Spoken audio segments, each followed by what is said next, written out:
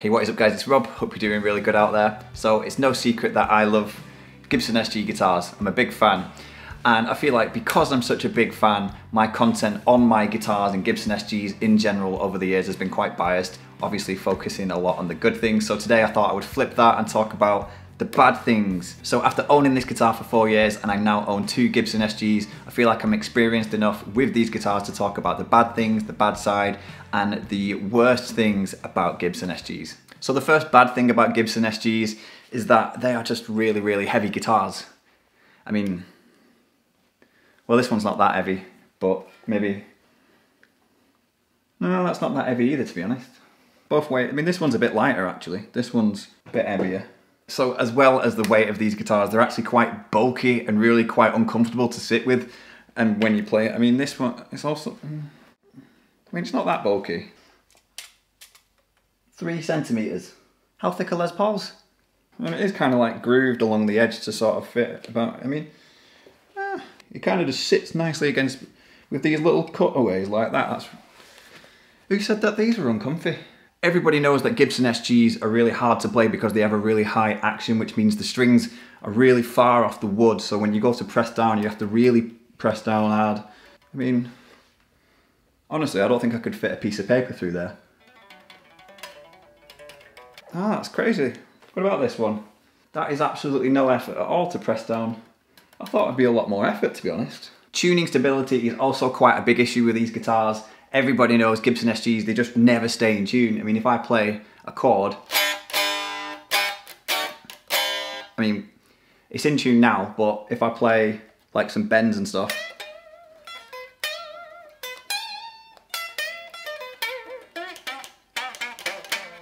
now if I play, it's still in tune. It's not even gone out a little. Bit. I think it's got better, if anything got better whilst I was playing it. Now, of course, we're guitar players, and one thing that we really like is that when we stand up with our guitar, it stays exactly where we want it or where we put it, to be honest. And everybody knows that Gibson SGs, one thing they're quite known for is having neck dive. If I stand up with this guitar and I put the strap around me, so I'm holding the guitar now, but if I let go of it, so if I let go of it, I mean, it literally falls about two centimeters. If I hold it here and I let go of it, that's not neck dive, that's gravity. And who walks around with a guitar like this? I mean, if you stood up with your guitar, you're going to be holding it. So, uh, intonation is, is an issue, you know. If I play a C chord at the bottom of the guitar, and then a C chord at the top of the guitar,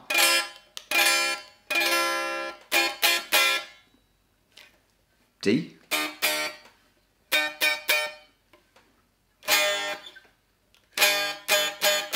It's identical. It's exactly as it should be. I don't understand. Not heavy, not bulky. Action's alright. They stay in tune. Intonation's good. Neck dive's not that bad. I bet if I take my finger and I press down on the guitar there and I leave it for a second, fingerprint, fingerprint, fingerprint, and I bet they just stay there for ages and just like making it look really bad. I mean, they wipe off quite easy actually.